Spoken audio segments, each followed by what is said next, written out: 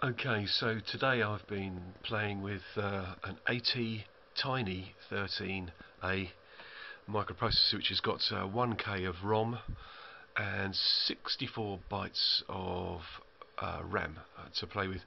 And what I've managed to create here today, after a little bit of fiddling, is um, this is a VGA VGA driver for well, I'm running it off a projector at the moment, and I'm managing to get a uh, 40, 40 pixel by 40 pixel array um, using RGB but as you can see overlapping colours you can actually squeeze eight colours out of there that would include a white and a black.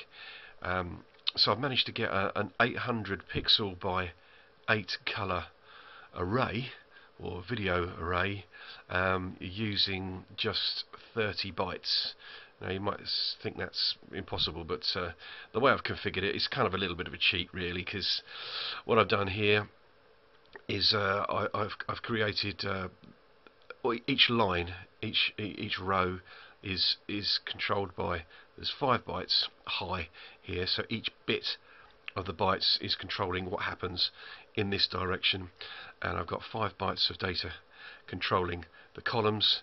So each bit of data is controlling here. And where you get an intersection with a horizontal and a vertical you get a dot.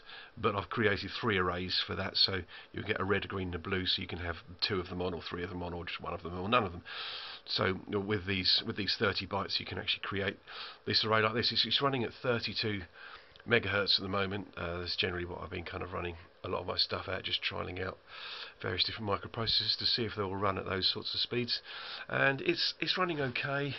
Um, I need need to do a little bit of refinement as I as I do on most of my stuff. There's a little bit of glitching going on. I think that's just where the interrupts are triggering in in strange places, and you've got to complete a clock cycle on a command before we actually get to it. But uh, I'm sure I'll, I'll, I'll, fiddle around with that and get that right. But uh, at the moment, this is running in 890, I think, 890 bytes. But I'm all configured up, ready to create some very, very simple animation using these items on screen. But there we go. Thank you very much.